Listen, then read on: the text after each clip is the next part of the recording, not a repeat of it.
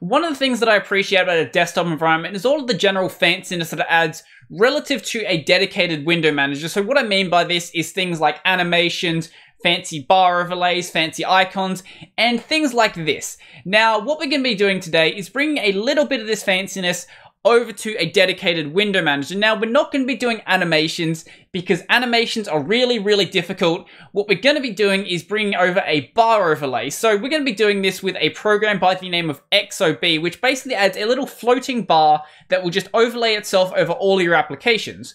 So what you can do with this is do things like say, show your volume level. So when you change your volume level, have a little bar that appears on the screen that shows you, oh, you're at 60% or oh, you're at 30% and you're muted.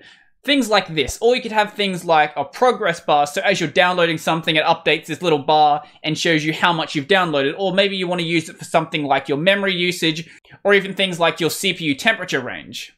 Okay, so let's go have a look at how this would work. Now, one thing you have to keep in mind is that if you want, say, Pulse Audio integration or ALSA integration, or you want integration for a download bar or your CPU temperature, everything that you want to integrate with, you're going to have to write yourself because all XOB does is adds in a bar overlay. It's not going to do anything else.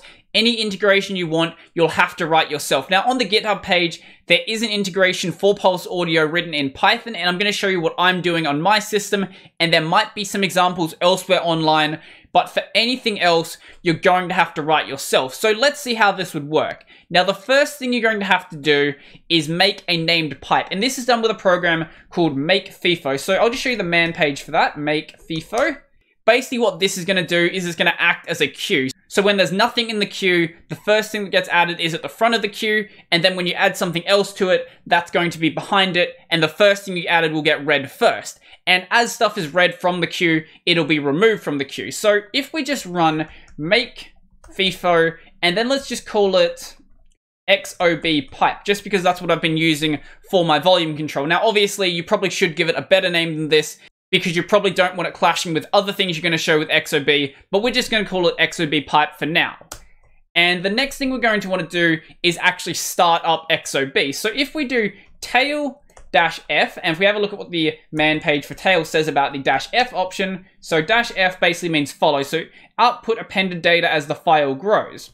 Okay, so if we do tail dash F, and then just pass in the pipe that we had before, so XOB pipe, and then let's start up XOB, and we'll start it with the basic theme. So if we just run it like this, nothing really happens. So on the terminal, it's running XOB, the terminal is now locked up. So let's open up a new terminal, and what we're gonna do is echo the number, let's say 42 into that pipe. So into TMP slash XOB pipe. Okay, now what this is gonna do is bring a little bar overlay onto my screen briefly. And you can't actually see that because it's been put onto my second monitor. And the reason for that is because the way it does multi-monitor integration is really, really weird. So it'll put it on the rightmost monitor rather than the monitor you're currently focused on. So instead of running it with that theme, let's run it with the theme that I've actually got set up to work properly. So the way that you change the theme is by doing XOB-S and then give it the name of the theme that you want to use. So the one that I've got working properly is BSPWM. So as we can see, nothing's really happened just yet, but let's go and echo a number into that pipe. So we'll just echo 10 into it, and as you can see, just for a brief second there, it shows the bar being at 10%. So let's change this to a different value. Let's change it to something like, I don't know, 47%. So as you can see, that's showing 47%, or we can show more, we can show something like 90%, and that shows the bar 90% full. Now, I've got this pipe set up to work with my volume control, so let's try that out. If I go and actually increase my volume level, right now it's set to 48%. I don't know how well you can read my polybar, but if we go and increase that, that's now at 50%, 52, so on and so forth. So we can go all the way up to 100, and then once we actually go past 100, what it's going to do is go into overflow mode and basically show the bar as red. Now, if we go back down all the way down to zero, now the bar is completely empty. So let's go and increase it to something like, I don't know, what are we at? 50%? And then let's go and actually mute the volume. And as you can see, the bar turns to gray when we do that. And if I go and unmute the volume, it doesn't turn back to blue just because I haven't got that working properly, but it should turn back to blue. And then once we go and increase the volume level again, now it's actually going and increasing it as a blue bar like we saw before. Now, after tweaking the theme a little bit, I was actually surprised by how well this fits into the theme of the rest of my system. I would have thought it would just kind of stand out as something being weird to see in a window manager, but at least with the theme that I've got set up, it seems to, I don't know, suit my system pretty well. Now, obviously, you're going to have to configure it to look the way that you want for the rest of your system theme, but at least for me, I would say that it fits in pretty well. Now, let's actually test out how we actually go and change those colors. So when we're just setting the value like this, all we're doing is just changing the bar in the regular mode. But we can also set it in an alternative mode as well. So if instead of just echoing out 90, we echo out 90 and then put an exclamation mark on the end. What this is going to do is set the color to alt mode and set the bar percentage to being 90. So we run this and as you can see, it's gray now. So we can try this with a different value. Let's try it with something like 50 and as you can see, when we're actually changing that value, rather than just saying update 90 out of 100, it's saying update 90 out of 100 and then saying alt after it. Now, normally I'm going to treat alt as being something like a mute, but if you're not using volume, it could be something like you're downloading something and the download's frozen. It hasn't errored out, but for whatever reason, it's just not downloading anymore. That might be something you want to use the alt coloring for. So what about overflow then? So overflow is also really easy. All we have to do is just output a number that's greater than our maximum number. So in this case, our maximum number is 100. So all we have to do is output anything greater than that. So in this case, 110, and it'll go into the overflow coloring, which on my system is a red bar with a lighter red border around it. Now there's also alt coloring for overflow as well, and that's accessed the same way as earlier, and all we have to do is just put an exclamation mark after that. So that's a darker red with a gray border around it. Now I don't know how I feel about this theme, but it's very rare that I actually go into overflow mode in general, and it's even rarer that I go into overflow mode and then go into the alt coloring. So that would be something like 110% volume on pulse audio and then muting my pulse audio. That's not something I really ever do, so I haven't actually bothered to fix that theme yet. Now there are a couple of options for XOB that we may want to play around with. So the first one I want to talk about is the maximum value. So by default, the maximum value is set to 100, but if you want it to be something like, say, out of 1,000 or out of 50, for example, well, you can just change that value in here. Now, you can't actually go and change the minimum value. So if you want to have something like maybe a CPU temperature range, so you want it to be something like 20 to 90, for example. The way you'd have to handle that is instead of actually configuring it in XOB, you'd have to normalize those values from a range of 0 to 100. So you can go and look online on the formula to do that. It's not actually that complicated. But if you want to show some values that don't start from 0, you have to go and set that up yourself to work on a 0 to 100 range, or 0 to 50 range, or 0 to 1 range, whatever the range you want to use is.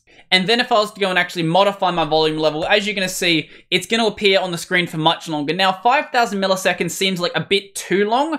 Maybe 2,000 or 3,000 is a bit more reasonable. I'm not sure what something like macOS defaults to, but I kind of like how long that sits on the screen for. So whatever that is, maybe that's probably a good number. So if someone knows exactly what that number is, feel free to let me know if you want to, but you don't have to if you don't want to.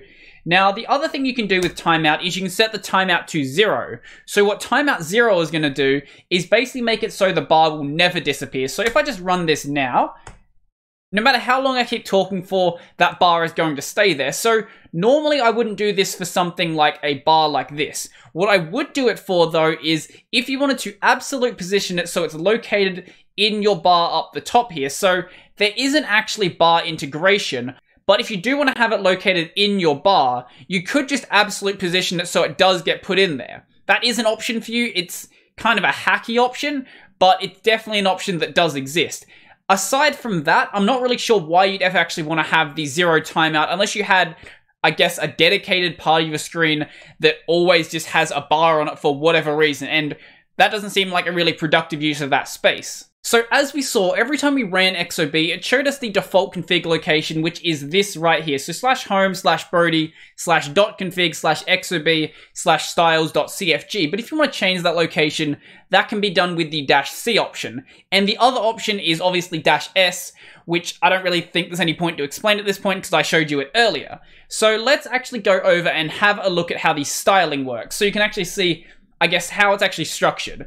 So if we go over to my dot .config folder and go into the XOB folder and into styles.cfg. So in here, I've got two styles defined. So I've got the default style and also the BSPWM style that we were using earlier. Now, the way that these styles are defined is pretty straightforward. So we have an X position, we have a Y position, and we have a length, and then we have padding, border, outline, and thickness. All of these are pretty straightforward how these work. And when you're setting the X, the Y, and the length, they all take in two different values. So we have the relative value and the offset value. Now, if you want to have a look at how these work, over on the GitHub page, there's sort of a breakdown of how you can place the bar on different locations on your screen based on how these values are set. So if you want to have it, say, in like the top left corner, then you can see that you do these values here. So relative x equals 0, offset x equals 0, y 0, y offset 0, relative length is 0.3, and then offset length is this right here. And then you can see a bunch of other locations here how this would work. So if you want to have some custom location I would recommend taking something that is close to it and then sort of playing around with the numbers and just seeing if you can get it located where you want it to be located.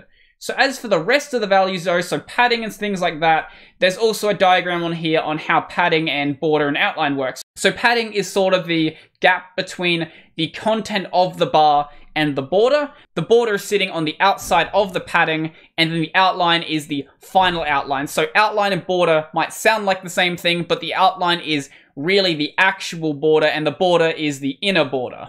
Another value you might have spotted in here is overflow. So there are two modes for overflow. We have hidden and we have proportional. So what hidden does is basically as soon as you go into that overflow range, the entire bar will be set to your overflow color.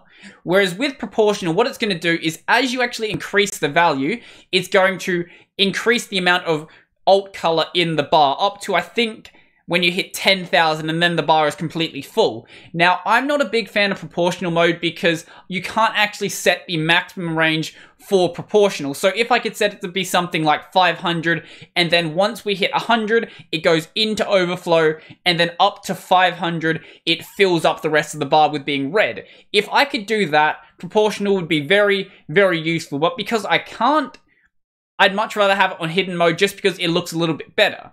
Now the other thing you can do is you can actually change the orientation of the bar. So by default, it'll be set to vertical mode, but you can also set it to be horizontal. And when you go and set it like that, you're going to have to change some of the things like the length and the location on the screen. So I actually had this configured for a single monitor, so my length is actually going to be wrong. So instead of being 0.5 length. We'll set this to 0.25, so that'll be a quarter of my entire display. So if you don't know, on Linux, when you have multiple displays, it's sort of treated as one big display. So a quarter of that will be a quarter of my entire display width, which in this case is a quarter of 3840, which will be 960. So we'll also have to go and increase this offset here. So we'll set the offset to be negative 960, and that should have it centered on this screen right here. So if we go and run this now, as you're going to see, it's centered on this screen right here. So as we go and decrease the value, the amount that it changes by is bigger, but it's still representative of what it actually takes up in that bar. So in this case, 38%